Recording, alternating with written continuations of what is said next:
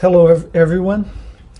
We are back, and today we are going to continue with the topic of energy metabolism, diet, and weight control. And I want to pick up from the last slide that we discussed about a week ago before we had two classes one class was the preparation for the exam we had a q&a and then we have the exam on the on the 26th so today we are back to the normal continuation of the course. And i want to pick up from the point that we actually stopped. And it was about determinants of energy expenditure. And we listed four of them. We mentioned basal metabolic rate or BMR, uh, the thermic effect of food or TEF, also known as diet induced thermogenesis, also abbreviated as DIT, adaptive thermogenesis, and physical activity. So we're going to go through each one of this, but today I want to focus on basal metabolic rate because this is a very important concept and there is a lot of important application to this idea of energy metabolism and also weight control. So I want to go more in depth into basal metabolic rate. So to begin with, I think it's important that we uh, uh, uh, define what basal metabolic rate is and it refers to the myriad of biochemical processes required to sustain life. So essentially, it's every uh, metabolic activity you have in your body that is required to maintain your cells, your heart beating, your liver functioning, your stomach, your intestine, your, your gut, your brain, everything, your lungs. So everything that is involved with your minimum amount of energy to sustain life. So it's some people also uh, call, actually prefer to call resting metabolic rate because it's very difficult to establish what is really the bare minimum or only necessary to sustain what a living cell would require. So I think for practical conditions, it's more often referred to resting metabolic rate because under resting conditions, we can pretty much characterize what it is and then we can establish and assign uh, a certain amount of energy or a number of calories that refers to how much is necessary for the basic or resting conditions.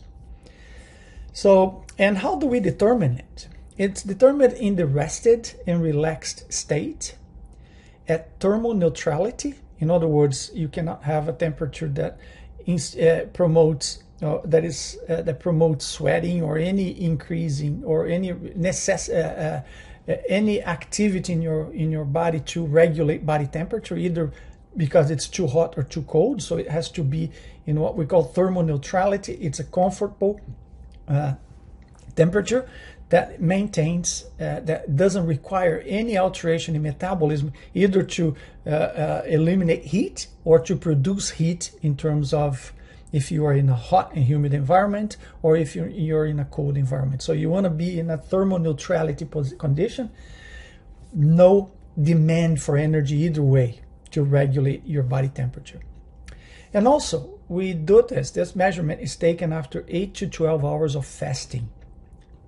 So you have to be awake, you have to be rested, relaxed, and in a fasted condition, obviously, because when you, if you're not fasted, you, you there is a certain amount of energy that is spent just for the processing of food so you have to be under fasted conditions. We are going to discuss this more when we talk about thermic effect of feeding.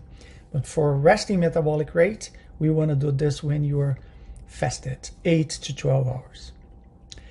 And basal or resting metabolic rate accounts for 60 to 75% of total daily energy expenditure. In other words, the majority in people, not in athletes, but in most people, average basal metabolic rate or resting metabolic rate accounts for the majority of the total daily energy expenditure that anyone uh, has.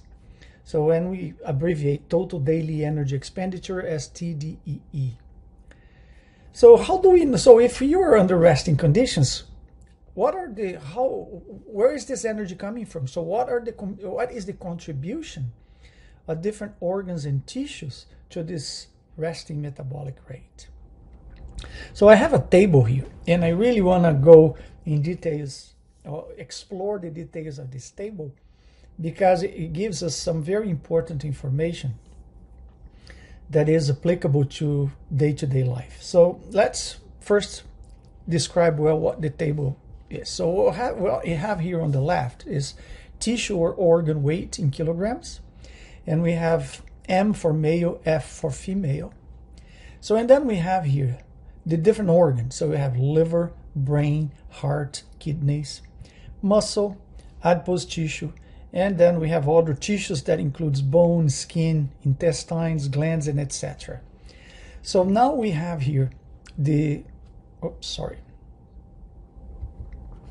We have the tissue weight in kilograms. So let's say liver, for instance, is 1.8 kilograms approximately on average in men and approximately 1.4 kilograms in women.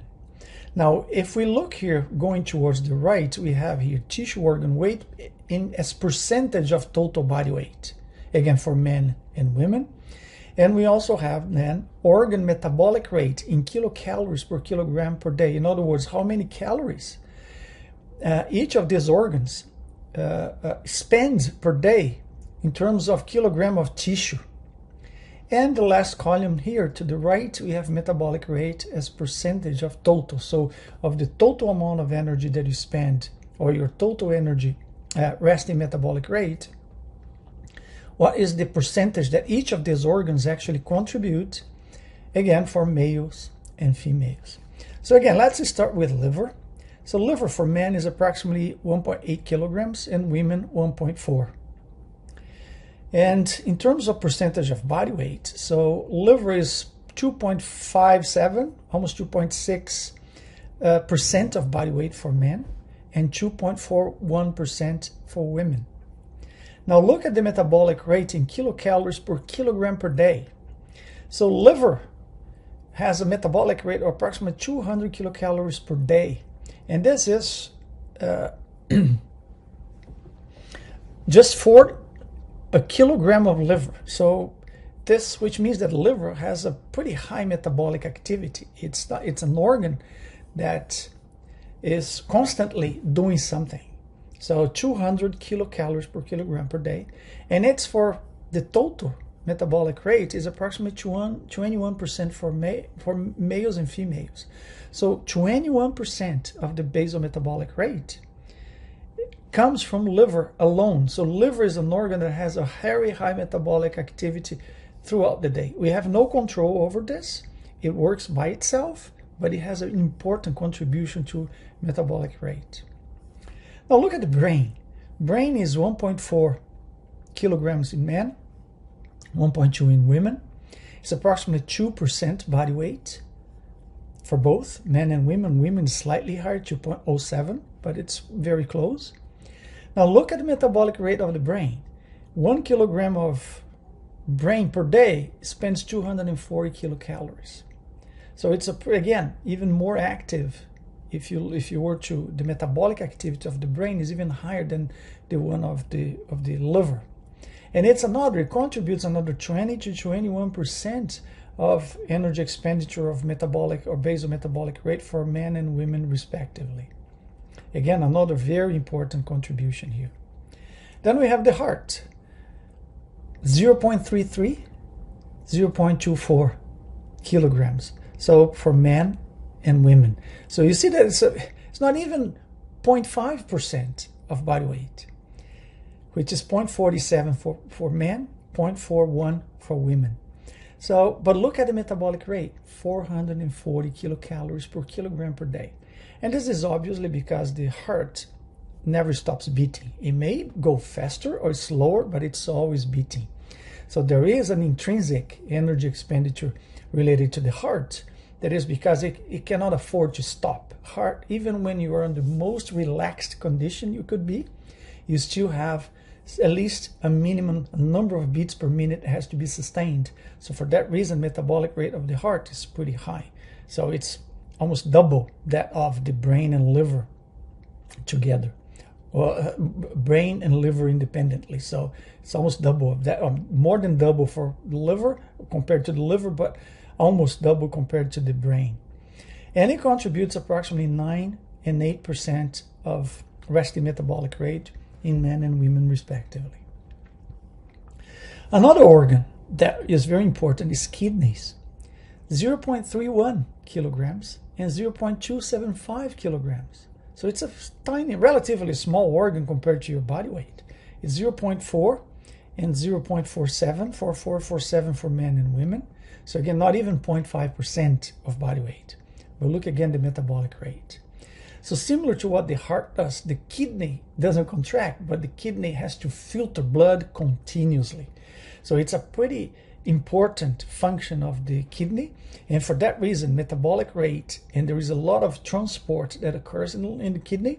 And for that reason, there is a high rate of transport that is done, or a high number of transport uh, uh, that takes place in the, in the kidney. It is done by energy consuming transporters. So they are they are they contribute a significant amount to basal metabolic rate. So in for men, male and females, it's 8 and 9% respectively. So now look at this. If we were to compare only for add only for liver, brain, heart, and kidneys that I, I, I highlighted in red here, if we add them up, it's approximately we say it's 41 50, 50, almost 60% of your resting metabolic rate, of our resting metabolic rate, comes from four organs liver, brain, heart, and kidneys. And again, we have no control of over these organs in terms of how much they're going to work. You could make the case that the heart, you can accelerate the heart if you engage in intense exercise or if you engage in any kind of physical activity, you can increase the activity of the heart, but you don't control how much of it. Specifically, the heart has its own rhythm and its way, own way of controlling heart rate. But again, you have four organs here that together account for almost 60% of basal metabolic rate. And then we have here muscle, which is the organ that people usually focus because it's related to exercise. Because this one we can control. We say, well, your muscles, if you have a big muscle mass, you can you have more uh, a higher metabolic rate. But look here, this is an important point that I want to make sure that you you understand here. So muscle for men is approximately 28 kilograms and 17 kilograms for women. It's approximately 40% of body weight for men and 20 or let's say 30%, close to 30% of body weight in women. So it's a big tissue. If you compare to the other organs, it's by far the one that has the biggest or that occupies the biggest proportion of your body weight. It's a large organ. But now look at the metabolic rate under resting conditions. One kilogram of muscle per day spends only 13 calories. So, even though it's a large organ, or we usually think of muscle as a very important organ in terms of energy expenditure, it is when you exercise because you can mobilize large muscle groups. You can do it continuously. You can prolong the, the exercise. And for that reason you can really increase substantially the number of calories that you spend with muscle contractions. But under resting conditions when you're not doing any exercise your muscles have a very low metabolic rate. Because if you could let's say you look at your biceps or you look at your quadriceps if you're sitting like I am now, or even you watching this video, what you're to see is that the muscles, they are pretty much relaxed. There is very little energy demand. You can make muscle work hard, but you have to engage in exercise. You have to get up and move. And the harder you exercise, obviously, the higher will be the metabolic rate. But that increase in energy expenditure is only during the time that you are exercising. As soon as you stop exercising, metabolic rate in muscle goes down significantly. And again, just to put this in perspective, one kilogram per day is only 13 calories. Look at compared to liver, brain, heart, kidneys, test organs, when they are under resting conditions, they have a much, much higher metabolic rate than what you have for your muscle. You can make your muscle work hard and really get up to a much higher metabolic rate compared to these other organs, but you have to be under exercising conditions. So, under resting conditions, skeletal muscle contributes approximately 22% of resting metabolic rate in men and 16% in women. So the reason why it's it's it goes up to 22 and 16 in men and women under resting condition is, is not because of the metabolic rate of the muscle per unit of per kilogram, but because you have such a large compartment. Muscle is 40% of your body weight in men and 30% in women.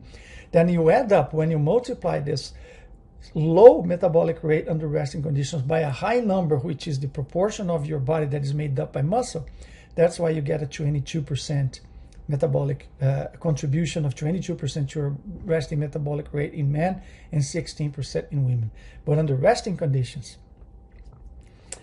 it's not a very highly metabolically active tissue. Why I also want to bring this up is because if you there is this idea, and in the exercise, in the in the field of exercise, especially if you if you go to a gym and you listen to those people who talk about exercise, personal trainers, what they usually say, oh, we are going to increase your muscle mass. Because if we increase your muscle mass, when you're resting, you're going to have a significant increase in your metabolic rates because muscles spend more energy. Well, we have to be careful when we say that because when you are resting, metabolic rate of a muscle is slow. And let's say you you you work out hard, you engage in a resistance training program that is high intensity. That means that you're going to use heavy weights and you're going to try to increase muscle mass by uh, uh, exercising on a regular basis. So you're going to say, oh, I'm going to have hypertrophy, and then my muscles are going to be bigger, and I'm going to increase my energy expenditure under resting conditions. Well, turns out that if you gain one kilogram of muscle, which is not, it's not easy to do, one kilogram of muscle is about 2.2 pounds. So for you to gain two, one kilogram of muscles with exercise, with resistance training, takes time, and it's it's quite a bit of, of an achievement. You're going to increase your resting metabolic rate by approximately 13 calories. So it's basically irrelevant in terms of increasing your resting metabolic rate you can make the case that well i have more muscles then i'm going to be able to exercise more. So if that's the case then i understand that gaining more muscle will make a big difference in your overall energy expenditure. But not so much under resting conditions. It would be more so when you're really exercising. And, and i understand and i agree that if you have more muscles you can exercise harder you can exercise for a longer period of time and that will add up a lot more calories. But it's not what you're doing under resting conditions which means you're not doing any uh, effort. So for that reason one kilogram of muscle would be 13 calories additional per day.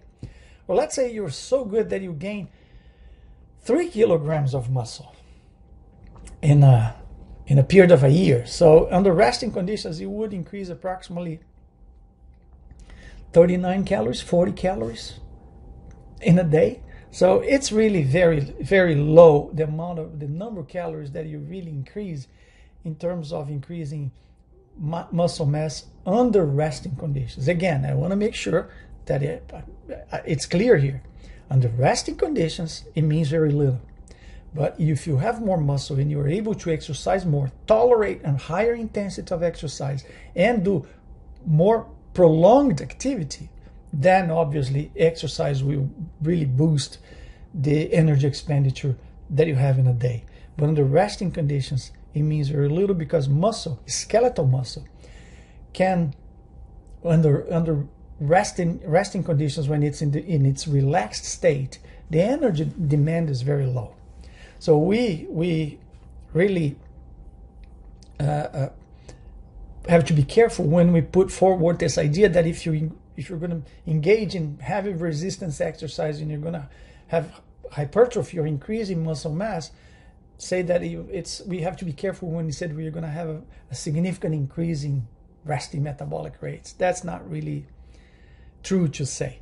It's true to say that it under it will allow you to do more exercise.